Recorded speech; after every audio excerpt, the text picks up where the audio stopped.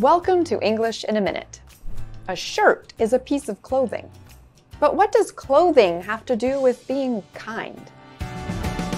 Give someone the shirt off your back. Carl is so nice. He would give anyone the shirt off his back. Remember that day we were out with him and he stopped to fix that woman's car? Exactly. That time he really did give the shirt off his back. To clean up all that motor oil.